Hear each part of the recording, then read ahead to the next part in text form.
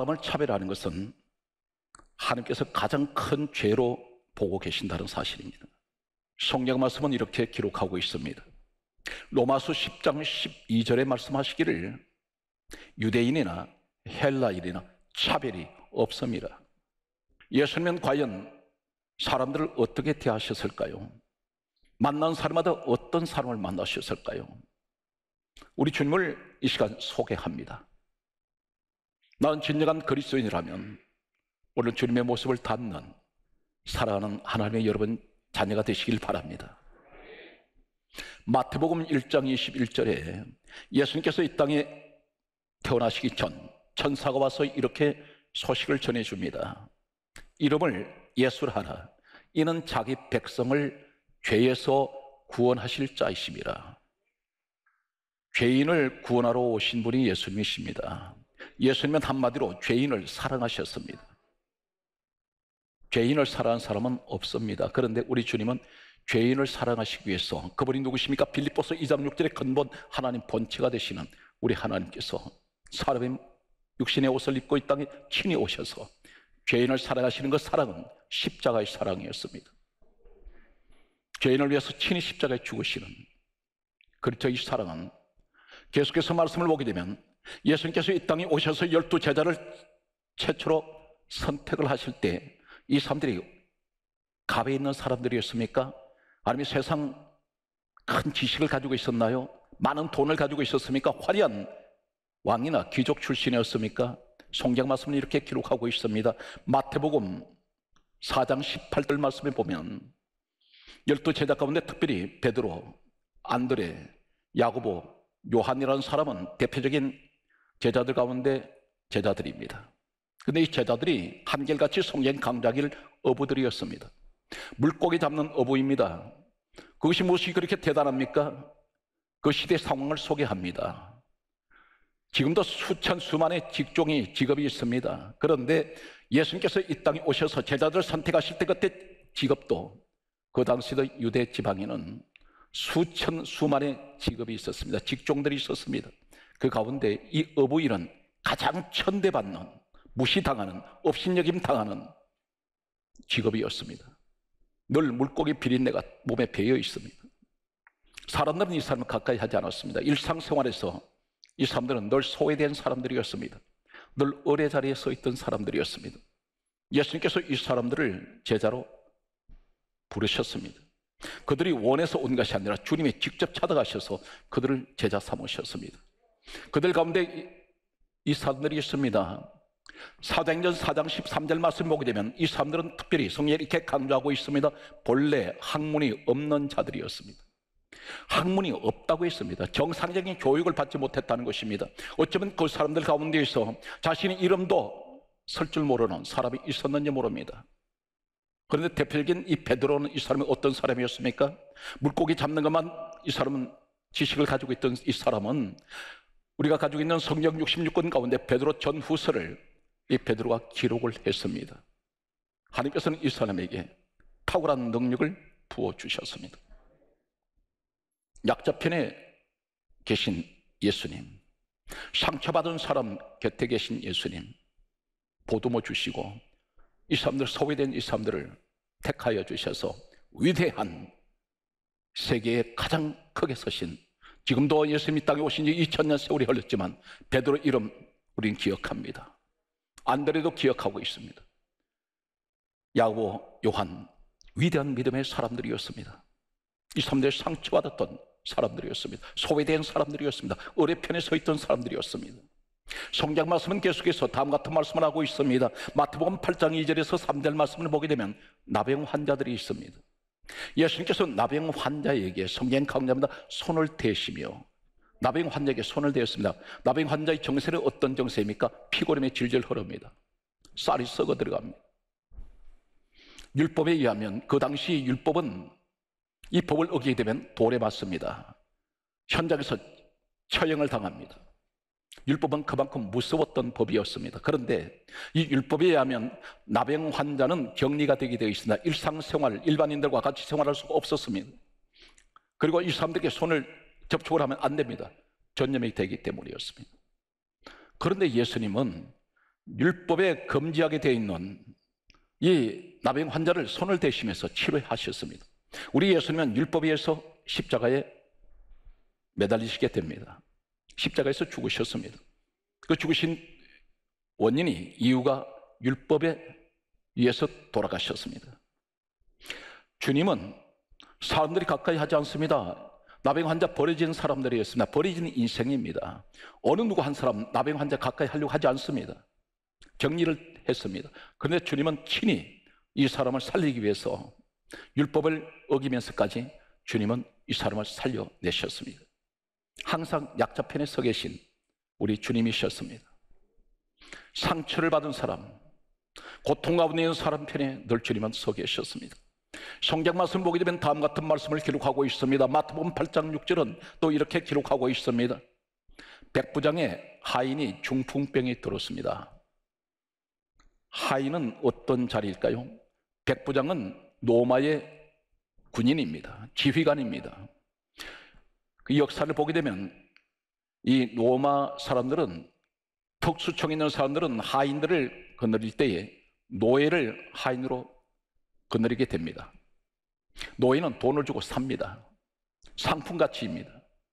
그 당시 법으로는 돈을 주고 산 이 사람이 사람이지만 노예는 주인이 죽여도 법에 저촉되지가 않았습니다. 이 사람은 한마디로 파리 목숨입니다. 그런데 예수님은 이 백부장의 하인이 중풍에 걸렸다는 소식을 들으시고 이 중풍병자를 고쳐주셨습니다. 마태복음 8장 28절 말씀을 보게 되면 다음 같은 말씀을 기록하고 있습니다. 귀신 들린 사람이 있었습니다. 사람들이 다 도망갑니다. 가까이 하지 않습니다. 그런데 주님께서 그 귀신 들린 자를 고쳐내셨습니다. 사람들이 싫어하는 귀신 들린 사람, 나병 환자, 그리고 중풍병 환자, 이 사람들은 전부 사회 소외 계층들입니다. 하류 계층에 있는 사람들입니다. 그런데 주님은 그들에게 특별히 관심을 두고 계셨습니다. 성경 말씀을 계속해서 보게 되면 성경은 이렇게 기록하고 있습니다. 마태복음 9장 9절 말씀을 보게 되면 마태라는 사람이 있습니다. 이 마태라는 사람이 나중에 예수님 제자가 되는데 이 마태가 우리가 가지고 있는 마태복음을 기록한 사람입니다. 이 사람은 세리였습니다. 세리는 오늘날 세무 공무원입니다. 세무 공무원을 주님이 제자를 삼으셨는데 이 세무 공무원이 어떤 그 당시에 위치에 있었을까요? 유대 백성들은 로마의 지배를 받고 있었습니다. 주권이 없어져 버렸습니다. 그런데 이 로마 정부에서 어떤 정책을 썼느냐면 유대 백성들 가운데서 머리가 뛰어난 사람들을 세무 공무원으로 발탁을 했습니다. 그리고 소중의 급료를 주면서 인센티브를 주었는데 그것이 어떤 것이냐면 세금을 많이 걷어들이면 걷어들일수록 거기에서 걷어들인 금액에서 10% 내지 많게는 20% 30%를 더 인센티브로 주었습니다. 많이 거둘수록 그들에게 돌아가는 몫이 많았습니다. 그러다 보니 이 세금을 걷어들이는 이 세리들은 할 수만 있으면 온갖 세금을 다 징수를 해서 갈취를 했습니다. 같은 동족인데 이 세리를 일을 하는 이 사람들은 원성의 대상이었습니다. 원수 같은 사람들이었습니다. 끼니를 이어갈 것은 없어도 세금으로 전부 착취당했습니다. 그런데 주님은 이러한 사람까지도 주님의 제자로 삼으셨습니다. 오늘 성경 말씀은 계속해서 보면 다음 같은 말씀을 계속하고 있습니다. 마태복음 9장 20절 말씀을 보게 되면 혈루증 여인이 있습니다. 이 혈루증 여인은 구약 성경의 내비게서에 보게 되면 유출병 환자입니다. 유출병을 앓고 있는 사람은 어떤 정세냐면 여성이 하혈을 하는 병입니다. 피를 계속 쏟아냅니다. 이 여인은 무려 12년 동안 계속해서 하혈을 하는 그런 혈루증 여인이었습니다. 물이 귀한 이 지역에서는 여인 몸에서 계속해서 피를 흘러내릴 때에 몸에 일정량의 피가 모자라면 어지럼 정세가 오게 되고 빈혈이 와서 기력을 잃어버립니다. 일어설 수가 없는 그런 상태입니다. 몸은 야유에 갑니다.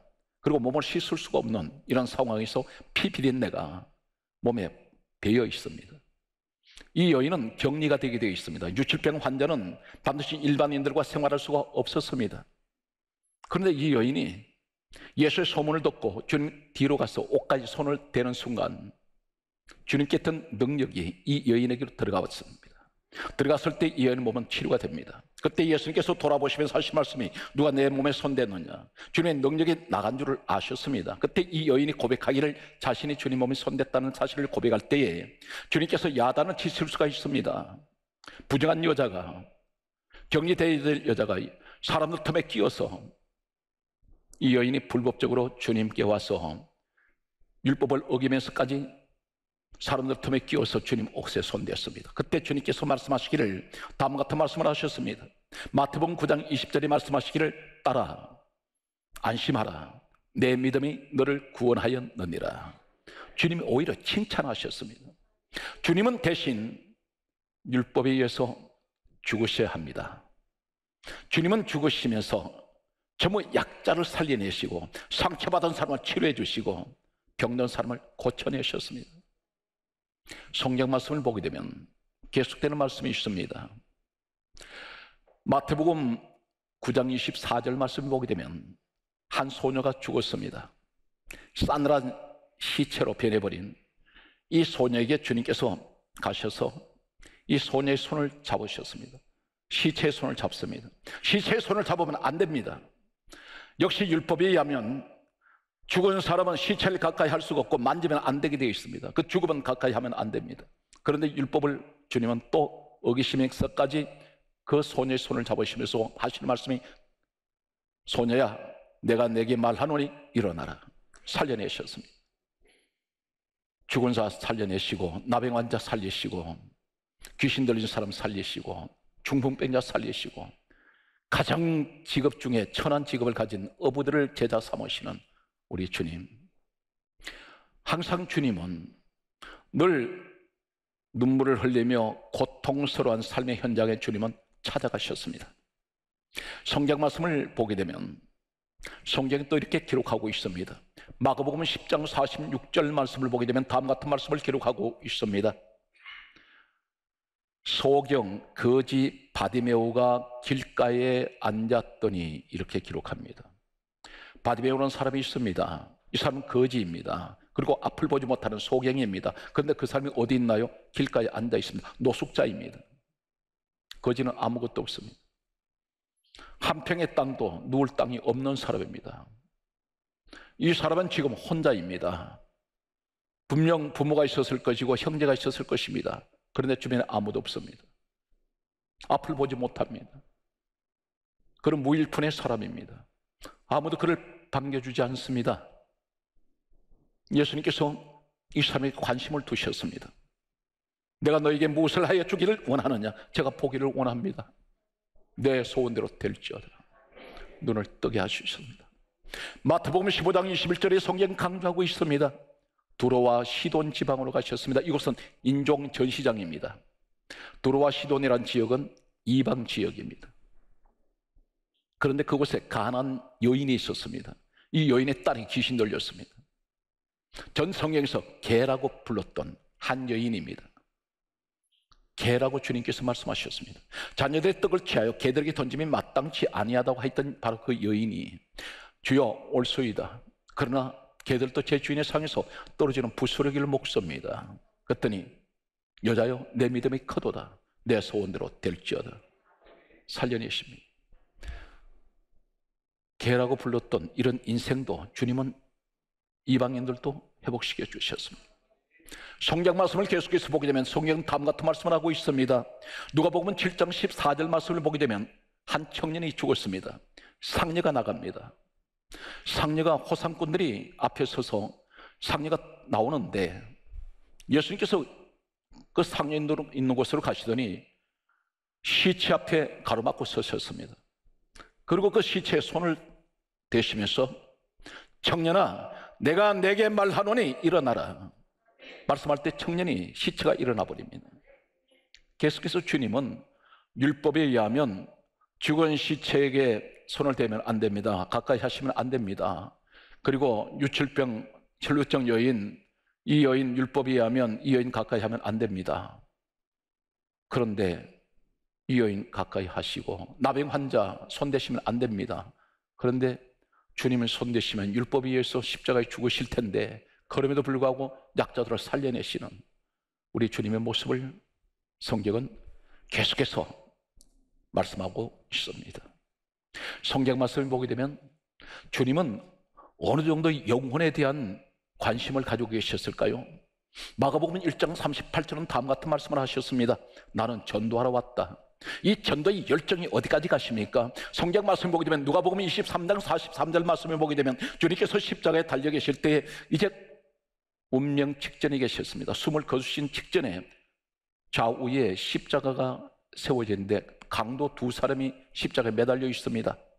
그런데 한 강도가 회개를 했습니다. 그때 주님께서 마지막 숨을 거두시는 것 현장에서 하시는 말씀이 내가 오늘 나와 함께 낙원에 있으리라. 강도 이 사람은 살인자입니다. 그런데 살인자까지도 주님은 그를 버리지 아니하시고 구원하셨습니다. 이제 요한복음 5장 7절을 소개합니다. 38년 된 병자가 있습니다. 베데스다 연못가에서 이 사람은 38년 동안 누워 있습니다. 이 사람에게도 역시 부모 형제가 있었을 것입니다. 그러나 지금 그 사람은 주변에 아무도 없습니다. 이 사람은 예수님을 알지 못합니다. 베데스다 연못가에 누워 있는 자비의 집 은혜의 집에 누워 있는 이 사람에게 사랑 성도 여러분, 이 말씀 우리에게 지금 무엇을 말씀하는지 아십니까? 이 자비의 집 베데스다 이곳이 어디냐면 은혜의 집입니다. 그곳이 어디입니까? 오늘날 하나님의 교회입니다. 나왔는데 이 사람 누구를 기다리고 있습니까? 주님을 찾지 않습니다. 주님께서 찾아오셨습니다. 그리고 하시는 말씀이 내가 낫고자 하느냐? 이렇게 물으셨을 때에 이 사람이 이렇게 고백합니다. 요한복음 5장 7절에 고백하기를 나를 못에 넣어줄 사람이 없습니다. 이렇게 고백합니다. 이 사람 주님을 기다리지 않았습니다. 사람을 기다리고 있습니다. 우리 인생이 어디다 목적을 두고 살아오셨습니까? 무엇을 바라보고 있나요? 38년은 병자는 사람만 바라보고 있다가 이 사람은 38년 동안 치료받지 못했습니다. 주님께서 오셨는데도 불구하고 주님이 물으셨습니다. 내가 낫고자 하느냐 이 질문 앞에 제가 낫기를 원합니다. 이 고백보다는 사람이 나를 못에 누줄 사람이 없습니다. 사람을 기다리고 있었습니다. 우리는 무엇을 해결하기 위해서 자꾸만 사람을 바라봅니다. 저 사람이 나를 도와주지 않을까? 이 사람을 통하면 사업이 잘 될 것이야. 사람에게 줄 서기를 원합니다. 사랑하는 성도 여러분, 우리는 예수 그리스도께 줄 서야 합니다. 주님께서 말씀합니다. 자리를 들고 일어나 걸어가라. 바로 일어나 버립니다. 오늘 이 현장 되시길 바랍니다. 성경은 사도행전으로 넘어옵니다. 사도행전 3장 1절을 보게 되면 남윤소 안전병이 된 사람이 있었습니다. 이 사람은 태어나기 전부터 하체를 서지 못합니다. 성경 말씀하기를 사람들이 메고 나왔습니다. 그리고 어디다 두었습니까? 성전 미문 앞에 갖다 두었습니다. 이 사람 거지입니다. 구걸하고 있습니다. 그때에 베드로 요한이라는 사람은 성령의 사람입니다. 이 사람이 이렇게 말합니다. 내게 은과 금은 내게 없거니와 내게 있는 것을 내게 주노니 곧 나사리 예수 그리스도 이름으로 일어나 걸어라. 예수 이름으로 잡아 일어났대 이 사람 일어났습니다. 누가 고치셨습니까? 베드로 요한이 능력이 있어서가 아니라 배후에 주님의 능력으로 고쳤었습니다. 사도행전 7장 58절 말씀을 보게 되면 사울이라는 사람이 있습니다. 이 사람이 나중에 바울 되는 사람입니다. 예수님께서 이 땅에 일곱 집사를 세우셨는데 그 가운데 가장 사람들에게 칭찬받고 성령 충만하며 은혜가 충만했던 한 사람이 있습니다. 서대반입니다. 이 서단 집사는 순교를 합니다. 누구 손에 순교를 당했나요? 바로 사도행전 7장 58절에 나중에 바울된 사울 이 사람이 서대반을 죽인 주동자였습니다. 돌을 쳐서 죽일 때에 사울이 옆에 서 있었습니다. 그런데 이런 사람도 주님은 사도행전 9장 1절 이하의 말씀 보면 담에색 도상에서 이 사울을 붙잡으셔서 주님의 가장 귀한 제자로 서셨습니다. 그 사람이 바로 신약 성경 열세월에서 열네권을 기록했으며 그가 가지고 있던 손수건 앞치마를 가지고 병든 사람에게 갖다 얹어도 귀신이 쫓겨나가고 온갖 병이 치료받습니다. 이 땅에 살아서 셋째 하늘까지 올라갔다 내려온 사람입니다. 사랑하는 성도 여러분, 혹 내 남편이 아직도 예수를 모릅니다. 한국 교회가 여러 가지 부정적인 이야기만 세상에선 쏟아내고 있습니다. 빙산의 일각입니다. 이 땅에는 수많은 교회들이 있습니다. 그 교회들 가운데 몇 개 교회가 기탄의 대상이 되었다 해서 한국교 전체가 이 사회는 매도하고 있습니다. 한국교회 훌륭한 교회가 얼마나 많은지 아십니까? 훌륭한 목사님이 얼마나 많으신지 아세요? 교회 안에 가장 훌륭한 믿음의 사람들이 얼마나 많은지 아십니까? 반면에 교회를 비판하고 교회를 때로는 사태질하는 사람이 할지라도 하나님은 이러한 사람까지 버리지 아니하시고 그 사울 같은 사람도 붙잡으셔서 가장 위대한 하나님 사람으로 세우신다는 사실입니다. 그렇기 때문에 우리는 항상 낙심할 일이 없습니다. 우리는 늘 주님의 귀에는 주어져 있습니다. 오늘 성경 말씀은 지금 미국에서 일어나고 있는 흑인 한 사람이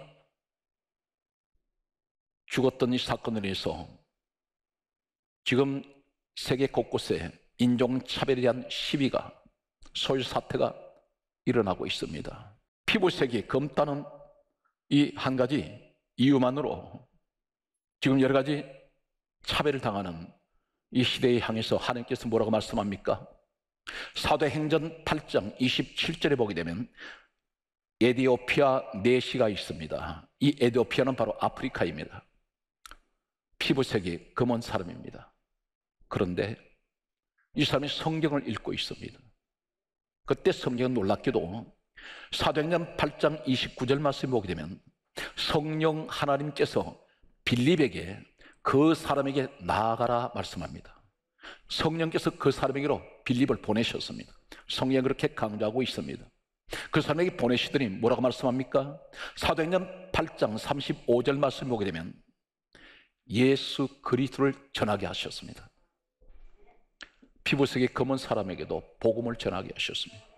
우리 하나님은 아시아인이든 아니면 백인이든 흑인이든 피부색에 상관없이 사상에 상관없이 이념에 상관없이 세상 어떤 신분에 상관없이 하나님 다 사랑하시고 차별이 없으신 분입니다. 사랑하는 성도는 이 시대는 가배 자리에 서 있는 사람이 너무 많습니다. 내 가정에 가배 자리에 서 있는 사람이 있습니다. 가배 자리에서 내려오시기 바랍니다. 다 같이 어뢰 자리에 서 계시기 바랍니다. 그럼 분명히 이 사회는 가장 살기 좋은 평화로운 사회가 될 수가 있습니다. 그것이 곧 주님의 사랑입니다. 오늘 이러한 일련의 성경에 기록된 사건들을 보았습니다. 하나님께서 우리에게 하시는 말씀이 있습니다.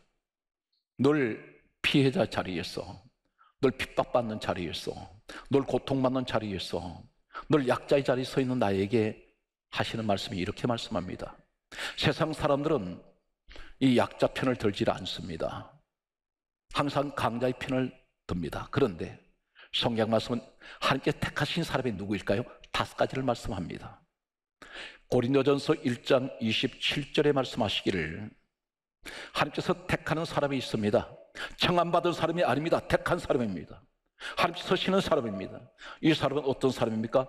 고린도전서 1장 27절에 세상에 미련한 것들을 택하사 미련한 자를 택하셨습니다.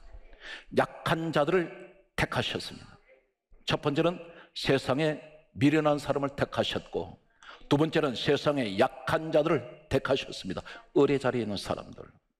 그리고 성경이 이렇게 강조하고 있습니다. 고린도전서 1장 28절에 말씀하시기를 세 번째는 세상에 천한 사람들을 택하사 네 번째는 멸시받는 자들을 택하사. 다섯 번째는 없는 자들을 택하사. 첫 번째, 미련한 사람, 약한 사람, 천한 사람, 멸시받는 사람, 없는 사람.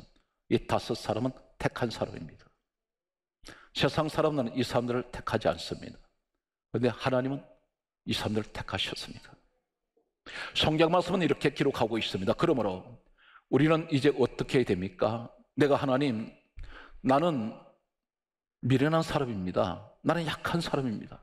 나는 천한 사람이고요. 나는 하나님 멸시받았습니다. 나는 아무것도 없는 사람입니다. 그때야 하나님 말씀합니다. 내가 너를 택했으니 이제 한 가지 우리에게 하시는 말씀이 있습니다. 고린도 후서 4장 7절에 이 보배를 질그릇에 가졌으니 질그릇은 사기 그릇입니다. 흙으로 만든 흙으로 빚은 그릇입니다. 가장 잘 깨지는 그릇입니다. 가장 연약한 그릇입니다. 이 그릇이 어떤 것인가요? 로마서 9장 24절에 우리가 그릇이가 있습니다. 나는 하루에도 수없이 깨지는 그릇입니다. 수없이 무너지고 있습니다.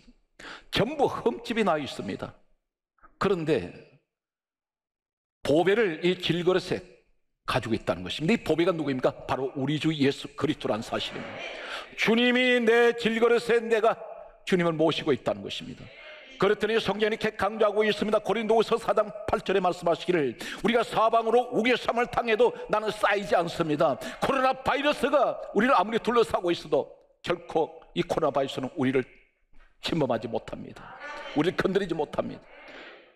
내가 사방으로 우기삼을 당하여도 쌓이지 않습니다. 환란이 사방을 둘러싸고 있어도 이 환란 나를 괴롭히지 못할 것입니다. 대단히 중요한 말씀을 하고 있습니다. 오늘 사는 성도 여러분, 성경 계속해서 이렇게 말씀합니다. 고린도서 4장 8절 말씀하시기를 답답한 일을 당하여도 답답한 일을 당하여도 낙심하지 않습니다. 성경 그 말씀을 하고 있습니다. 가장 중요한 것은 보배 되시는 예수 그리스도가 이 질그릇 내 속에 주님을 모시고 있다는 것입니다. 오늘 말씀과 결론의 말씀은 이렇게 기록하고 있습니다. 고린도서 4장 9절에 말씀하시기를 박해를 받아도 버림받지 아니하고 거꾸로 떨림을 당하여도 나는 망하지 않습니다. 여러분 가정에 주님이 늘 함께 하시기를 예수님으로 축복합니다.